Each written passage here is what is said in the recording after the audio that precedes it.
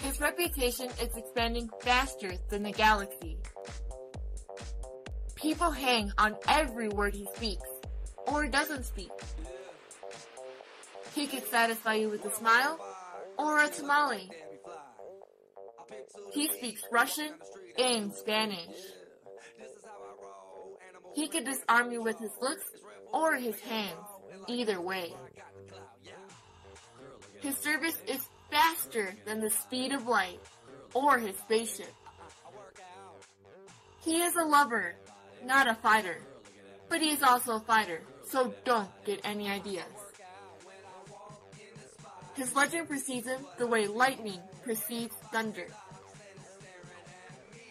People around Chicago wonder, who is the man behind the mask? He is the most interesting man in Chicago. I'm sexy and I know it.